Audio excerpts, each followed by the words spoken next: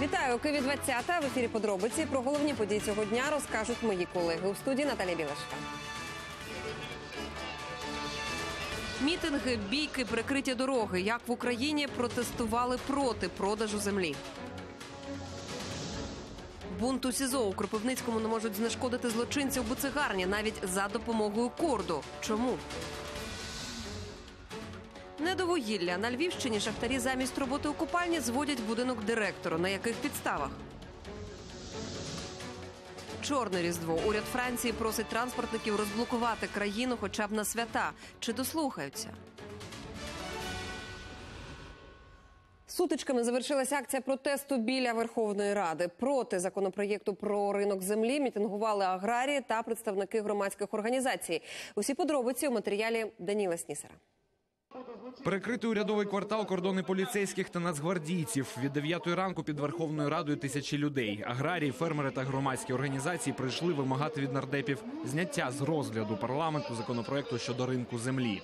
Багато галузей в занепаді. Є де прикласти розум, руки і таке, таке інше. Але ні, непокоїть саме та галузь, яка є в світі конкурентом і виходить на світові ринки, і там є конкурентом. Земля це те, що нас годує. І люди, які працюють на землі, вони не тільки зараз забезпечують продукти харчування, а те, про що забуває сказати влада, економічну складову, екологічну складову. Відкривати ринок землі можливо лише після референдуму. Наполягають аграрії. Побоюються, що іноземні корпорації, користуючись прогалинами у законодавстві, все ж отримають право скуповувати українську землю. практично українців лишають права жити на українській землі, тому що вона попаде в інші руки. Це абсолютно неправильно. Я думаю, що тих людей, які написали проект такого закону, необхідно лишити влади. Наша з вами задача зупинити їх, тих людей, які зараз під псевдонімом Слуги народу там сидять. Ми повинні їм сказати, що народ проти ринку землі, і ми не будемо йти на їх поблажки. Активісти вважають, що дозволити продаж сільськогосподарських угідь наразі в Україні не можна. Причин називають декілька. Серед них невпорядкованість реєстрів, плутанина з даними у Держгеокадастрі та високий рівень корупції. І в таких ситуаціях земля не може коштувати дорого. Навіть е, саме Міністерство економіки оцінює граничну ціну в 1200 і до 2000 доларів, які безумовно ніхто не дасть. Порівняємо це, наприклад, з Угорщиною, де е, земля коштує 7, або з Польщею, де ґрунти значно гірше, але вони коштують майже 12. Так? Е, тобто, таким чином, ми що маємо? Ми маємо те, що ми ще й продамо цю, продамо цю землю. Основний зараз національний ресурс, ми його ще й продамо за безцінь. Акція протесту спочатку мирна ближче до півдня переросла у масові сутички між правоохоронцями та активістами національних дружин. Ті намагалися розгорнути армійські намети просто посеред проїжджої частини на вулиці Грушевського. Силовики почали відтісняти натовп, зав'язалася бійка. У бік правоохоронців полилася зеленка та полетіли палки. Спецпризначенці застосували газові балончики.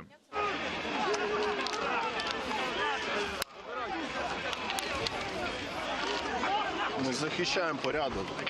Вони почали заливати Газ. Скажи, будь ласка.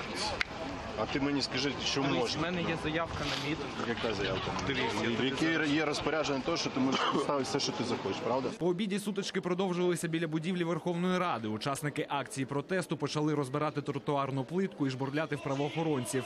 Ті у відповідь застосували спецзасоби. У масовій бійці постраждали і поліцейські, і мітингувальники. Було затримано 26 осіб. Вони знаходяться в районному управлінні. Аналізуються всі дані, які в нас є. Відео, е, інформація від свідків. Постраждало на теперішній час 17 поліцейських. Звернулось е, з різними, на щастя, легкими е, травмами.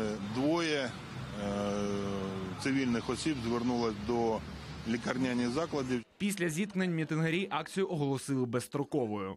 Вона буде безстроковою, тому що фермери і аграрії продовжують, хочуть принципово стояти е, на своєму. і досягти результату. Інформацію про загибель мітингувальника під час акції у середмісті, яку розповсюдила низка змі у поліції, спростували. Згаданий чоловік помер від серцевої недостатності. Його забрала швидка з вулиці Інститутської. Цю інформацію також підтвердили родичі померлого. Даніл Снісар, Геннадій Анікеєнко, подробиці телеканал Інтер. Масові протести аграріїв відбулися не лише у Києві. У кількох регіонах фермери навіть сьогодні перекривали дороги. Як усе було, бачили наші кореспонденти.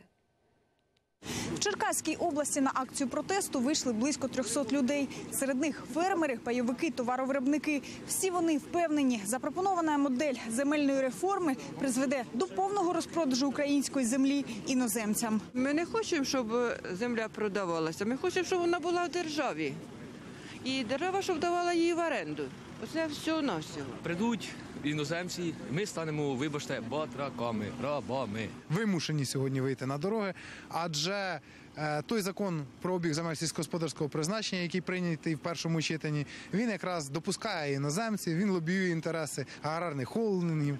Олігархів, транснаціональних корпорацій, але далеко не захищає інтереси якраз місцевого вітчизняного товаровиробника. І ми сьогодні величезними являємося противниками про концентрацію землі в 200, чи сьогодні, як говорять нам ще від 20 чи 60 тисяч гектарів землі. Це фактично той самий розпродаж землі. Під Харковом зранку на київську трасу вийшли більше сотні аграріїв. Щоб привернути увагу до питання продажу землі, фермери буквально паралізували тут дорожній рух. Аграрії вкотре кажуть, їх непокоїть те, що величезні наділи можуть опинитися в одних руках, і ані середній, ані великий фермер не в змозі викупити навіть ту землю, яку обробляє нині. Навіть з тим, що вони предлагають кредити, 5%, ну це непідйомно для фермерів зараз. Так виходить, щоб мені викупити землю, я беру кредит і мені 5 років е, просто треба віддавати кредит. Все, що я виростив, я продав і віддав за кредит. Непокоїть аграріїв і майбутнє українських чорноземів. У законопроекті не прописано, як держава контролюватиме використання земель і збереження родючості. И если я использую землю, а в принципе я как собственник могу использовать ее как угодно, но я могу ее просто выхолостить, превратить в пустыню, так? А могу ее, э, так сказать, э, улучшить ее качество. Государство должно в этом, в этом смысле э, контролировать плодородие земли, которые используют, используют э, даже в частной собственности. На Кіровоградщині трасу перекрили неподалік Новоархангельська. Більше півтисячі аграріїв блокували її майже дві години. Вимоги людей незмінні – не продавати землю іноземцям та концентрація землі в одні руки не більше п'яти тисяч гектарів. Коли Зеленський вибрався в президенти, да, і команду вів з собою Слуга народа, він говорив, що буде е, спілкуватися з людьми і буде ті вимоги, які будуть в народу, він завжди е, буде їх виконувати. На сьогоднішній день. Зовсім виходить по-другому. Чому? Бо тому, що 70% населення України не хоче продавати землю. Тим більше не допускати іноземців на е, не, не можна їм дозволяти купляти землю. А ми бачимо зовсім друге. Просуваються закони 200 тисяч гектарів одні руки, то дуже е, такий великий е, об'єм землі. Справа в тому, що якщо буде концентрація основних земель е, в руках олігархів, то ніколи наше село не буде квітучим. Вони ніколи не будуть вкладати кошти в розвиток села, в інфраструктуру, в соціалку, і наше село просто пропаде. І ми надіємося, що наша акція буде почута урядовцями. Хочуть, аби їх почули у столиці і фермери Херсонщини. Люди сподіваються, що хоча б такими акціями зможуть привернути увагу влади до проблеми. Близько 300 селян вийшли на трасу Херсон-Генічеськ. Рух перекрили в обидва боки. Таким чином хотіли показати, що земельну реформу в нинішній редакції ухвалювати категорично не можна, адже вона не лише не в інтересах дрібних фермерів, а ще й загрожує знищенням. Ганебний закон, який е, не ринок землі, а дерибан землі, який дозволяє 200 тисяч в одні руки. Ніхто тут стоящих, і думаю, і по всій Україні нема ні одного середнього чи малого фермера, який зможе купити 200 тисяч гектар землі. А це все е, розраховано на е, і на іноземців. Обмеження обсягів продажу землі в одні руки, недопущення іноземців до ринку землі та проведення всеукраїнського опитування – основні вимоги протесту. Протестувальників. Референдум це пріоритет, тому що було анонсовано ще на стадіоні, і це питання важливе для України. Тому потрібно провести референдум. Це першочергове. Друге, це потрібно е, зняти е, і розуміти, що доступ до землі будуть мати тільки українці і тільки легальний капітал. Траса Київ-Одеса тут біля селища Любашівка. На акцію протесту зібралися півтори сотні людей з Одещини та сусідніх областей. Це фермери, а також працівники сільгоспідприємств, водії, агрономи. Дві години вони перекривали дорогу, лише іноді пропускали автівки. кажуть, якщо влада не дослухається до їхніх вимог, готові блокувати дороги навіть безстроково. Одна з головних вимог зробити обговорення законопроекту про продаж землі прозорим, адже наразі, за словами людей, влада буквально ховає зміст цього документу від пересічних громадян.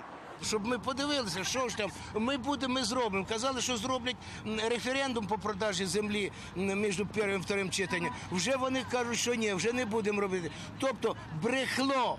Одні брехуни там осталися і хочуть нас надурити. Близько 300 аграріїв вийшли на пікет у Хмельницькій області. Ланцюгом вишикувалися вздовж траси. Із собою привезли робочу техніку. Валентин один із пікетувальників на землі працює з малку. Зараз має невелике фермерське господарство. Хлопець занепокоєний з приходом на ринок великих агрохолдингів. Пересічні селяни втратять роботу. Зараз е, великі корпорації купляють землю. Їм не треба багато е, спеціалістів і людей, щоб її обробляти, тому що йде автоматизація.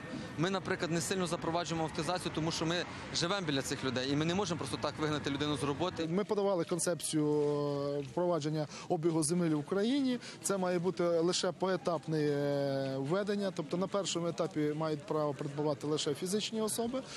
Концентрація землі в одних руках 500 гектарів. Другий етап через 5 років це 5 тисяч гектарів землі юридичні особи. Дорогу перекривали недовго, близько півгодини. На трасі одразу ж утворилася колона з вантажівок. Зрештою, аграрії розійшлися та пообіцяли повторити акцію, якщо їхні вимоги не почують у столиці. Житомирська область, траса Житомир, Бердичів, Вінниця. Саме її перекрили сотні протестуючих аграріїв та селяни із собою на акцію. Привезли десятки одиниць сільськогосподарської техніки. хочуть прийняти закон про продажу землі. Але не урегуліровані всі ці вопроси, які. От нас воно це бентежить, бо ми можемо лишитися роботи. І це вже вимушені дії, тому що ми три місяці намагаємося достукатися до влади всіма е, нормальними законними шляхами, але влада нас взагалі не чує. Якщо ми сьогодні бачимо, що е, слуги народу заявляють, каже, що ми проведемо реформу і подивимося, чи виживе малий фермер. Ну то дивно, ну ми ж не якісь підопитні кролики, і ми ж е, не є тими фермерами, які там в офшори виводили гроші. Водії акцію були невдоволені. Найбільш розлючені протест озвучували клаксонами. Щоправда, вже за 10 хвилин від початку протестувальники почали потроху пропускати автівки і громадський транспорт. Загалом же по всій Україні всі акції пройшли доволі спокійно. Проте і фермери, і селяни попереджують, якщо в столиці їх не почують, готові їхати до Києва. Земля розсварили і народних депутатів. Заблокована трибуна, зірване пленарне засідання і гучні вимоги до монобільшості. Детальніше про все далі. Поки під стінами парламенту бились та пускали сльозогінний газ, у залу Верховної Ради юні скаути вносили віфлеємський вогонь миру. Проте у мирний порядок денний втрутились опозиційні фракції та забажали перерву через ринок землі. щоб зняти з розгляду е, ті закони по ринку землі, щоб комітет проводити в відкритому режимі, а не в закритому режимі, як комітет це хоче робити. І щоб взагалі по цьому по, цій дискусії було велике реальне обговорення, як президент Зеленський обіцяв. Ми кожен день чуємо е, різний е, відсоток концентрації, різна кількість га в руки, е, різні е, періоди фінансування. Тобто на от на момент вчора фактично е, реформи повноцінної великої ми так і не побачили. Тобто як вона буде виглядати. Тому коли вона буде, тоді можна буде говорити взагалі про те, щоб виносити в зал. Они хотят завтра на комитете не рассматривать правки, что является ну, абсолютным нарушением закона, а потом и в зале не рассматривая ничего, просто украсть землю и убежать. Я считаю, что то, что я сегодня вижу в зале, уже никакого отношения ни к парламентаризму, ни к демократизму не имеет. Это захват власти. Более того, если они продадут землю вот таким образом, Я лично считаю, что это государственный переворот, в котором кубка людей взяла и поменяла все, законы Украины, э, законы и регламенты, и украла землю. Та перерва не дала жодних рішень. Повернувшись до залу, спікер розпочав роботу згідно з порядком денним. І перше питання від опозиції – постанова про забезпечення рішень Конституційного суду щодо виплат пільг чорнобильцям. Та Рада не підтримала це своїми голосами. парламент не підтримав, я маю на увазі слуг народу, так званих, не підтримав постанову по виконанню рішення Конституційного суду по відновленню виплат чорнобильцям, інвалідам війни, інвалідам е, по е, здоров'ю. Це взагалі ганьба. І ганьба цим слугам народу, тому що вони сьогодні проігнорували і Конституційний суд, і власних виборців. І от люди дивляться на них і думають, кого взагалі вони обирали в парламент, коли вони не підтримали вже рішення суду є. Виконайте його, дайте виплати. У монобільшості більш амбітні плани. Депутатська недоторканність. Слуги народу пропонують забрати у Верховної Ради право вирішувати чи позбавляти депутата імунітету, аби передати це право виключно генпрокурору. Після отримання якоїсь інформації, що той чи інший депутат могли вчинити злочин, е, генеральний прокурор реєструє провадження в єдиний реєстр досудових е, розслідувань і передає або в набу, або в ДБР за підслідністю. Там слідчі розслідують. Е, Якщо їм потрібно провести обшук, вони знову ж таки не йдуть у Верховну Раду, вони йдуть до суду. Єдине, що таке клопотання підписує генеральний прокурор. Ми вважаємо, що дати такі повноваження величезні генпрокурору це створює суттєві і політичні, і корупційні ризики. І е, ми проти цього. Та до недоторканності не дійшли. Трибуну заблокували одразу після обідньої перерви. Спікеру не дали змоги сісти у крісло. Головна вимога зняти з розгляду законопроект про ринок землі. Його поставили на розгляд у четвер. Втім, слуги народу вирішують, що робити із правками, яких понад 4 тисячі. А це довгі місяці розгляду. Якщо ми побачимо, що е, результативного розгляду не буде, то можливо ми е, значить, це і не будемо робити. Е, Тому що ми ж працюємо не для того, щоб піаритись е, на мітингах або піаритись значить, на трибунах. Ми працюємо для того, щоб отримувати конкретні результати. Тому і земля це одна з ключових реформ. Вона точно буде доведена до логічного завершення, але ну. В, ну, в такій процедурі я б сказав так, яка дасть нам гарантований результат. За нашою інформацією, є намагання завтра, зокрема, шляхом так званого адхоку, певних змін, е, просто відхилити всі більш як 4,5 тисяч поправок, внести законопроект про відкриття ринку землі на голосування Верховну Раду і брутально. Всупереч закону його проголосувати не йметься їм е, відкрити ринок землі і продати українську землю е, транснаціональним е, компаніям. На заблокованій трибуні спікер і закрив дочасно пленарне засідання, оскільки порозуміння між фракціями немає. Як немає і порозуміння щодо відкриття ринку землі. Катерина Лисенко, Ксенія Бервіненко, Сергій Коваль, Валентин Біліч. Подробиці телеканал Інтер. Щодо так званого земельного закону, сьогодні зранку скликали засідання парламентського комітету із питань агрополітики та земельних відносин. Планували заслухати поправки до запропонованої реформи. Чи вдалося, знає Юлія Жешко. Так само, як і попередні два тижні засідання аграрного комітету розпочалось традиційно із суперечок. Голова профільного комітету заявив, що в залі відсутні деякі автори поправок, тому розглянути зміни щодо земельного закону сьогодні навряд чи вдасться. У відповідь від різних політсил лунали пропозиції. Є правка номер один. Зачитуєте автора, немає автора, пішли. Правка номер два, номер п'ять і так далі. Проголосували, пішли далі. У мене 84 правка. Я почекаю, поки 83 колег або інші колеги, які дійдуть до цієї правки, і ми будемо по ній говорити. Давайте йти за нумерацією до 2500 правки. Кожна правка, якщо депутат наполягає, е, має бути озвучена, обговорена і проголосована. Бо вона має бути в тому числі і проголосована.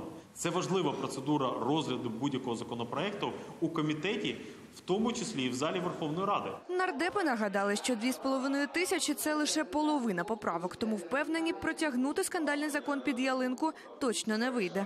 Всего их более 4 тысяч.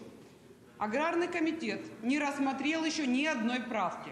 Я, как автор первой поправки к данному законопроекту, прибыла на заседание комитета. и начались фальсификации и манипуляции. В повестку дня они втихаря, извините за выражение, вынесли в четверг данный законопроект и хотят его протянуть до конца года в парламенте. Згодом з'ясувалося, що розгляд закону про ринок землі вже заплановано на четвер. Напередодні ця інформація з'явилась на сайті Верховної Ради. У керівництві ж профільного комітету цього не підтвердили. При умові, якщо він пройде розгляд на комітеті, очевидно, так звучали. В опозиційній платформі за життя наголошують, це пряме порушення регламенту і в разі внесення законопроекту в залу під куполом без урахування правок у поліцилі обіцяють позиватись до суду. Якщо, не дай Боже, так станеться, то те, що вони зараз порушують регламент, це буде приводом до того, щоб відмінити цей е, законопроект, ганебний законопроект, антинародний законопроект у суді. Замість кінця епохи бідності ми бачимо, що Зе-команда веде країну до тотального розпродажу державної власності і е, української землі, що є надбанням всього українського народу. Однак тема продажу землі не єдина, яку обговорювали зранку. Сьогодні ж у комітеті фінансовому вирішували долю грального бізнесу в Україні. Финансовый комитет на тему, как в Украине сделать одну большую горную зону и легализовать казино. Ну разве это те вопросы, которые должны приниматься в турборежиме, которые являются такими срочными, чтобы вот в таком темпе их рассматривать и выносить в зал парламента? Поэтому мы считаем, что это категорически недопустимо. Ни такой подход работы, ни вопросы, которые рассматриваются. Нужно вернуться в адекватную повестку дня. Юлія Жашко, Валентин Біліч, подробиці, телеканал Інтер. Ринок землі обговорювали і на прес-марафонах у столиці. Аграрії, фермери, власники паїв, політики та чиновники аналізували ризики та вигоду від ухвалення земельних законів. Детальніше в матеріалі. Журналісти, чиновники, селяни та аграрії сьогодні земельні питання обговорювали не лише в парламенті і на мітингах. На прес-конференціях у столиці точилися численні земельні дискусії. Так, в офісі президента вкотре чітко наголосили, питання ринку землі має бути вирішене. Мова ні про продовження мораторію, залишення всього того в тому стані, як воно є, не може бути предмету обговорення в силу тих обставин, що за ці 18 років цей так званий статус кво, такий як він є зараз, він призвів до дуже серйозних наслідків саме в частині контролю, нагляду, використання земель, породження різного роду чорних та сірих схем. І основна задача і бачення президента полягає в тому, щоб саме зробити цивілізовані правила і нормальні чіткі прозорі відносини в сфері земельних питань. Ухвалення земельних законів це не продаж землі, а право українців самостійно вирішувати, як розпоряджатися власним майном, наголошують чиновники. Адже нині, за словами експертів, втрачають і люди, і держава. Українські землевласники отримували вартість оренди, оренди, яка є нижчою в 4 рази ніж в країнах Європейського союзу. Український агросектор він недоотримував в рамках продуктивності. Українська держава недоотримувала в якості недосплачених податків. Кожного року ця цифра складає близько 500 мільйонів доларів згідно наших розрахунків. Одне з найгостріших питань ринку землі обмеження щодо продажу в одні руки. Якщо ми говоримо про саме членів Всеукраїнської аграрної ради, то вони їх акція протесту, перекриття доріг при- пов'язана з двома чинниками. Є інформація, що сьогодні е, власне законопроект про е, ринок землі буде містити дуже величезні е, норми про дуже величезні масиви землі, які яку пропонується продавати в одні руки. Якщо раніше влада говорила про 210 тисяч гектарів землі в одні руки, яку може скупити одна компанія чи одна людина, то сьогодні вони йдуть трошечки на поступки, але це інформація про 50 тисяч гектарів, що також є дуже дуже величезним е, наділом землі. Натомість в уряді кажуть, таких цифр не буде. Розмова йде про цифри 20-10 тисяч гектарів. Чи воно буде менше, чи воно буде більше, е, таке може статися. Моя особиста думка, що це буде прийнятне обмеження в такому, е, в такому обсязі, да, 10-20 тисяч. Якщо буде менше, моя особиста думка, це буде негативно впливати на потенційне залучення інвестицій. Аграрії побоюються, що документ можуть ухвалити у другому читанні поспіхом, адже часу вже обмаль. На комітеті ще навіть не розпочали розгляди правок. Тобто, враховуючи, що залишилось три дні, ну Можливо, я, я ну, можливо, я, я не великий фахівець в цих всіх процедурах, як це може. Як можна за три е, за два дні про- продивитися 5 тисяч правок, проголосувати всі правки дати рішення комітету, я не знаю. Ми вважаємо доцільним провести референдум щодо продажу землі іноземцям. Те, що говорив президент. Це питання вже пообіцяли порушити на референдумі. Чиновники наголошують, усі побажання аграрів врахують. Головне, щоб ринок працював на українців. Олексій Пшемиський, Марина Григорян, Віталій Коваленко. Подробиці телеканал Інтер. Володимир Зеленський перебуває з робочим візитом в Азербайджані. Глава держави полетів до Баку напередодні. Сьогодні український лідер зустрівся з президентом країни, подякував за підтримку і наголосив, очікує на стрімке зростання співробітництва між обома державами. Наші відносини е, перевірені часом між нашими країнами. Ми завжди допомагали один одному у важкі е, хвилини, дуже складні моменти сучасної історії. А отже, Азербайджан був, є і буде для України надійним другом. Та я впевнений, що буде стратегічним партнером. Ми детально говорили з паном президентом посилення нашого партнерства в першу чергу, що дуже важливо для наших країн, не на словах, а посилення нашого партнерства в економічному напрямку. Зокрема, сприятиме е, йому, зокрема, сприятиме ефективна діяльність наших торгових торгових домів. Я з радістю запрошую вас в Україну, де майбутня приватизація відкриє е, великі, дуже значні можливості для азербайджанського бізнесу. З Ільхамом Алієвим підписали низку економічних, бізнесових та культурних угод. Про це розповіли вже на спільному брифінгу для преси.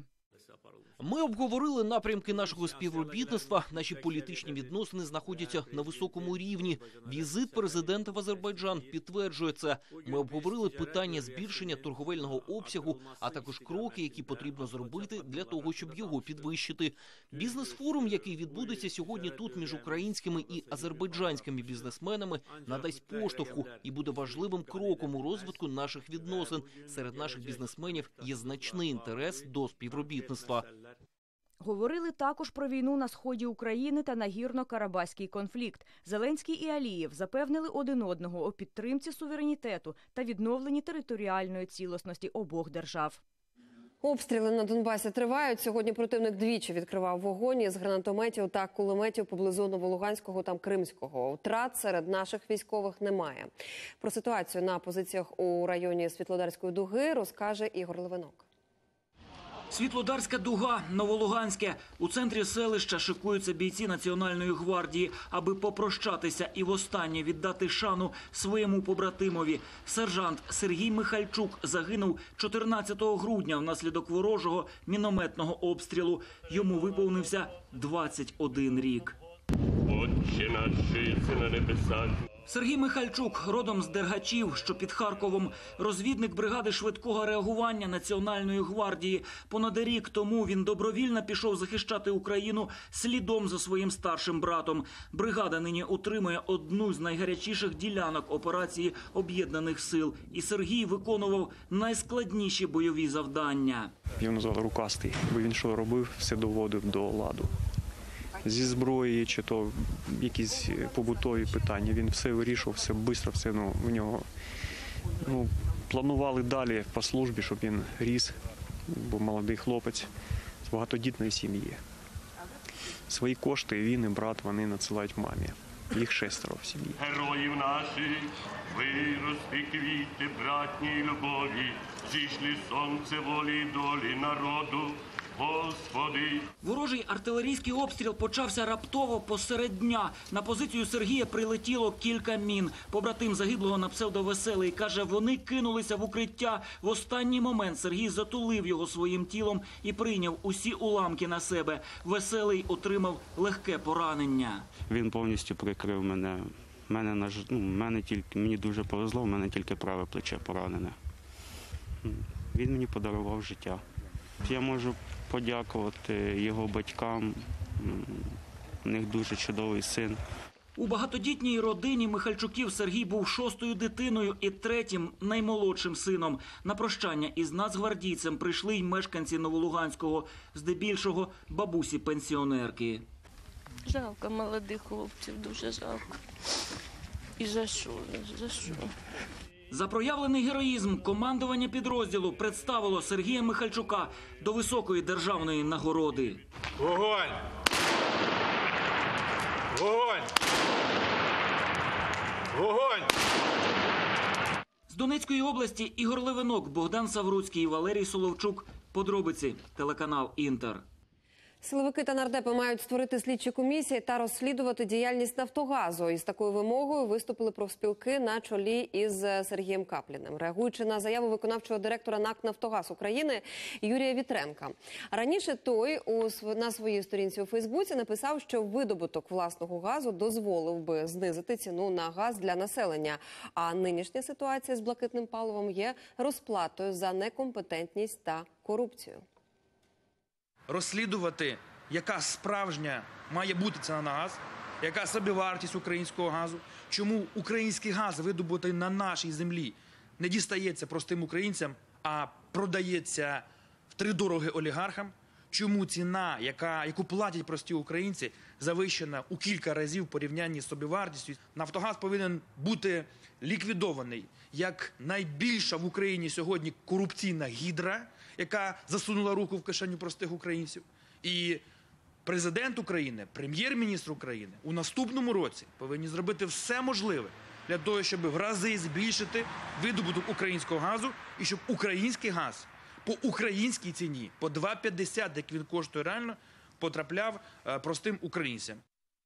Бунт у Кропивницькому СІЗО підозрюваний у вбивстві напав на співробітницю установи. Вивести його намагалися бійці спецпідрозділу Корт, проте їм це не вдалося. Напередодні підозрюваний Арсен Мартиросян вдерся до кабінету психолога і побив її. Мартиросяна називають головним смотрящим у Кропивницькому СІЗО. Він вільно пересувається установою та має там чимало приві- привілеїв. І про це розповів екс-голова Державної пенітенціарної служби Сергій Старенький. Саме Мартиросян підбурив інших затриманих вчинити бунт. Наразі бійці корду залишили СІЗО. Адміністрація закладу запевняє, що контролює ситуацію. Я нагадаю, Мартиросян на початку листопада 16-го року влаштував стрілянину біля нічного клубу. Одна людина загинула, і ще один чоловік, учасник АТО, зазнав тяжких поранень. Суди у справі тривають досі. Е, Коли намагалися вивести головного смотрящого Арсена, співробітники слідчого ізолятора не дуже е, сприяли, скажімо так, цьому вивозу, дали можливість йому спокійно пересуватися. І почалася ця заворуха, е, почали виходити з камер в'язні.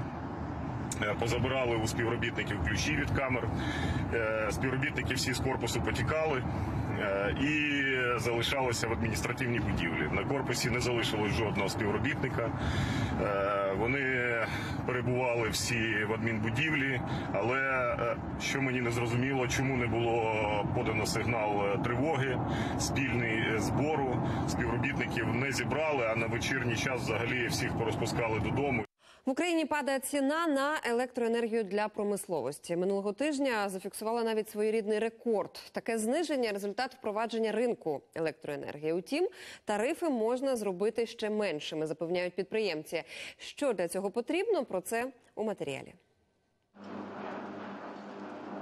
Запорізький титаномагнієвий комбінат одне з найбільших підприємств в Україні. Цей промисловий гігант входить до семи найбільших виробників титанової губки в світі. Загальний об'єм виробництва 12 тисяч тонн в рік. Однак через дороговартісну електроенергію зараз комбінат виробляє лише сім. Мы на сегодняшний момент продолжаем оставаться убыточными. В нашей себестоимости электроэнергия достигает 40%. Раніше собівартість виробництва була ще вища, однак із впровадженням ринку електроенергії ціна кіловату почала знижуватися. За останні декілька місяців вдалося зафіксувати стрімке падіння ціни. З е, 1 е, вересня е, ціна електроенергії здешевшала десь копійок на 20, е, це десь приблизно на 15%. І е, в жовтні-листопаді е, електроенергія ще здешевшала десь копійок приблизно на 30. На цьому графіку видно, як вартість струму для промисловості знижується. Ще на початку літа 1 кВт за годину обходився в 1 гривню 62 копійки. Зараз у гривню 30. благодаря усилиям да, а, правительства, профильного комитета Верховной Рады, да, произошло снижение цены. Естественно, мы, как химики, приветствуем, потому что а, вопрос а, энергоносителей в себестоимости а, нашей продукции – это вопрос э, э, конкурентоспособности нашей продукции на рынке. А в нас, е, ну давайте так відверто, е, досить енерговитратне виробництво. Це машинобудування, металургія, виробництво феросплавів, скляна промисловість. Навіть для потужних сучасних підприємств ми розуміємо, що складова вартості енергоносіїв це дуже важливо. Незважаючи на падіння ціни, струм для виробництва все рівно дорогий, переконують експерти. Знизити вартість електроенергії можливо через розширення ринку. Не всем предоставлен, к сожалению, равный доступ на этот рынок. Думаем, что это, э, наверное, есть одна из причин э, того, что мы имеем э, э, в цене электроэнергии. Цены э, на электроэнергию э, могут быть снижены за счет допуска э, на, вот, э, э, на рынок э, производителей атомной электроэнергии, да, более свободного доступа. Ринок е, сьогодні, е, навіть за тих позитивних моментів, які пройшов, він фактично ще не досконалий і не є е, конкурентним. Це атомна енергетика, яка в принципі досить дешева.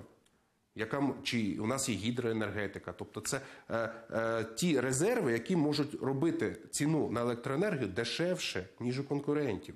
Про розширення частки атомної генерації на ринку електроенергії говорять і в парламенті. Наразі частка енергоатому всього 10%, однак її планують збільшити до 15%. Для цього вже підтримали необхідний законопроект. Це або трошки понизить ціну, або це не дозволить е, ціні зростати, залежно від е, інших ринкових факторів.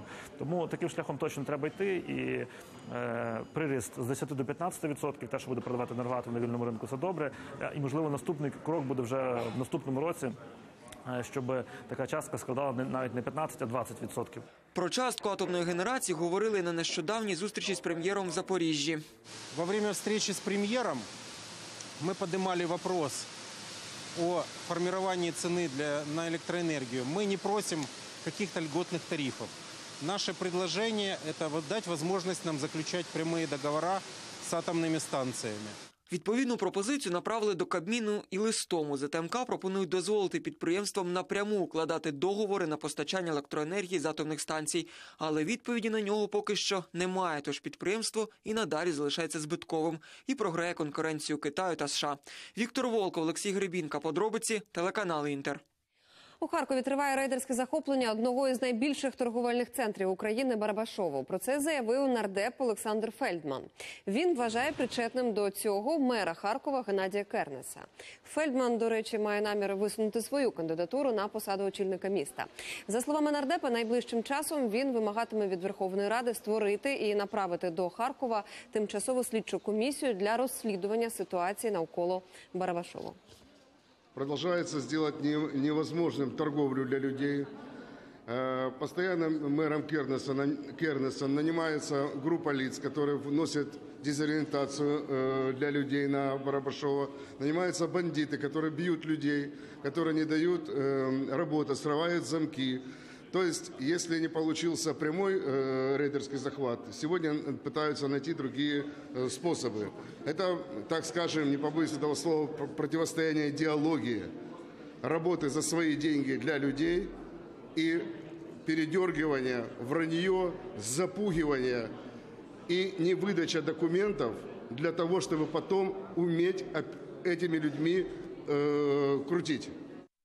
Вугілля не видобували, а зарплатню отримували. Львівські гірники у робочий час на території шахти виготовляли тротуарну плитку та будували будинки для своїх керівників. Такі результати перевірки правоохоронців. Більше розкаже Христина Хашенко. Шахта Великомостівська. Тут працює майже тисяча працівників. Під землю щодня спускається від 50 до 200 гірників. Не всі добувають вугілля. Частина шахтарів у робочий час зводили будинок для дружини свого керівника. За це отримували зарплату з надбавками та преміями. Всього від 15 до 23 тисяч гривень на місяць. Є питання при цьому, що керівник е, цієї шахти вже в принципі в 2012 році був засуджений за розтрату майна е, державного підприємства, але отримав умовний термін. Про будівництво будинку чули офісні працівники шахти. Головний інженер переконує, гірники в робочий час видобувають вугілля. Мовляв, шахти це режимний об'єкт. Тут усіх суворо контролюють. Такого не могло бути, і ми знаємо, хто в шахту у нас опускається і виїжджає з шахти. Перед виїздом е, інженерно-технічний працівник віддає їм жетони після виконання наряду. І ці жетони перед виїздом вже на поверхню шахти вони так само віддають в шахті стволовому, який вивозить після зміни і здає в табельну. Директора шахти сьогодні на роботі немає. Він на нараді в Міненерго. Телефоном підтверджує, будинок шахтарі таки будували, але в позаробочий час. Деталей не розповідає. Вибачте, дуже погано чую, вибачте, будь ласка. Будинок для свого керівника допомагали будувати і працівники шахти Степова. Втім, на територію підприємства охорона знімальну групу не пустила. Пояснили, немає керівництва. Також на території шахти Степова гірники виготовляли тротуарну плитку. За інформацією правоохоронців, обладнання підключали до електромережі підприємства. На фото, зробленому правоохоронцями, видно обгороджену бетонними плитами невелику територію. Тут на дерев'яних стелажах сортована тротуарна плитка. Неподалік кількаповерхова будівля підприємства. За інформацією правоохоронців, плитку продавали за готівку. Охоронець Михайло Галатюк, котрий тут працює більше 10 років, каже, виробництва не бачив. Я вон маю прохідну, ворота, спецконтроль, ніяких бруківок не знаю. Перший раз чую. На одній із шахт правоохоронці таки виявили, не всі гірники працюють в копальні. Оперативники зафіксували під землею 128 гірників, хоч за документами на 30 більше. Поки підозру жодному керівнику копалень не оголошували. Тим часом частина гірників сьогодні на мітингу під стінами Міненергетики. Там вимагають виплатити частину зарплати за жовтень та листопад. Чи пов'язані перевірки із протестами у профспілках коментувати не беруться. Христина Шенко, Юрій Голубінка. Подробиці телеканал Інтер. Львівська область. Фінал близько. Уже завтра Палата представників може розглянути питання про імпічмент Трампу. На затвердження конгресменів винесуть дві статті обвинувачення. Як це може відбуватися і чого чекати далі? Усе з'ясував Дмитро Онопченко. В американському конгресі просто зараз фінальні приготування. Комітет із регламенту призначив своє засідання на 11 за місцевим часом. В Києві це була 19-та. І саме цей комітет і має визначитися. А як за імпічмент Трампу голосуватимуть вже не в комітетах, а безпосередньо в тій будівлі на спільному засіданні нижньої палати. І коли це має бути? Демократи пропонують, щоб голосування відбулося вже у середу, тобто завтра. На голосування одну за однією винесуть дві статті обвинувачення Трампу. Якщо хоч одну із них затвердять, це автоматично означає, що нижня палата, як і у випадку з Білом Клінтоном, оголосила імпічмент. Поки що серед тих, хто має голосувати, поширили доповідь Конгресового юридичного комітету і зауваження республіканців до неї. У самій доповіді пряма рекомендація: глава держави повинен бути відсторонений від посади за держзраду, хабарництво та інші тяжкі вчинки. У звіті стверджується, Трамп зробив численні федеральні злочини, а головним свідченням зловживання владою демократи називають його телефонну розмову із Зеленським.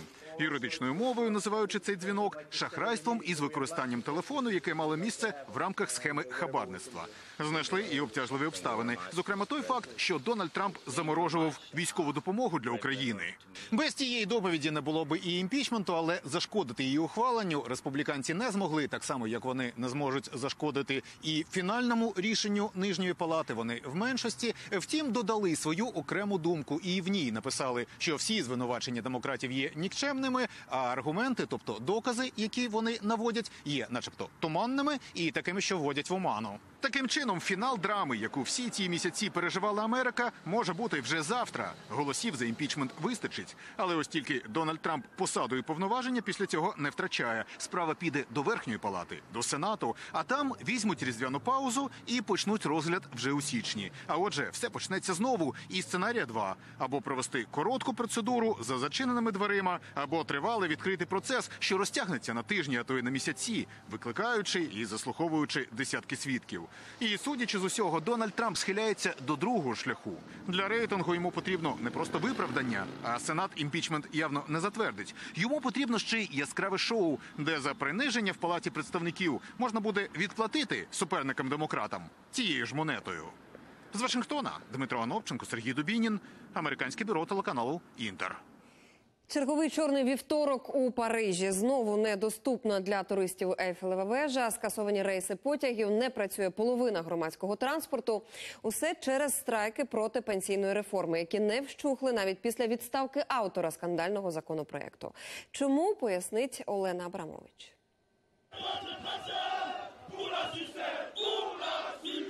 Мітинги проти пенсійної реформи день 13-й. Сьогодні демонстрації особливо масштабні. На роботу не вийшли 60% учителів у Парижі, а по країні не відкрилася чверть шкіл. Національна залізниця скасувала 80% потягів і вдруге за час страйків зачинили головний туристичний об'єкт Ейфелеву вежу. Мій хлопець уперше в Європі, і саме сьогодні не працює метро. Ми не можемо відвідати вежу. Дуже прикро. Ми тут лише на два дні. Сподіваюся, завтра все вдасться. Страйки починають дратувати вже й жителів Парижа, які спочатку здебільшого підтримували протести. Я вже тиждень у таких умовах, і хоча живу в Парижі, навіть щоб дістатися кудись за кілометр, треба витратити не одну годину. Це вже дуже складно. Таке враження, що залізничники працюють лише на себе. Ще більше французи занепокоєні через те, що за тиждень різдво і плани відвідати родичів у більшості населення можуть зірватися. Міністр фінансів Франції наполягає, залізничники повинні поступитися. Потяги мають їздити в період різдва, і вони мусять це робити не для уряду чи профспілок, а заради французьких людей. Це час свят, час об'єднання сімей. Вирішити суперечку на політичному рівні поки що не вдається. Напередодні у відставку вже пішов автор пенсійної реформи, верховний комісар з питань пенсій Жан Поль Делево. Проте не стільки через небажання її продовжувати, скільки через скандал. Журналісти розкопали, що він не все вказав у декларації про статки і має конфлікт інтересів. Тож головні причини протестів не усунуті. Наша профспілка вимагає чесної та справедливої пенсійної реформи. Ми завжди виступали за універсальну систему, але урядовий проект має величезну червону лінію. Це віковий період. Ми категорично проти. Згідно з реформою, частині французів доведеться попрацювати на два роки довше до 64, щоб заробити на повну пенсію. Французький уряд хоче уніфікувати пенсійну систему, яка наразі налічує понад півсотні варіантів нарахування виплат. Новації зачеплять майже всі категорії населення, тож масштабні страйки не припиняються. Олена Абрамович, Вадим Свиридонов, подробиці Європейське бюро телеканалу Інтер. Це всі новини на сьогодні. Приємного вечора. Побачимось завтра.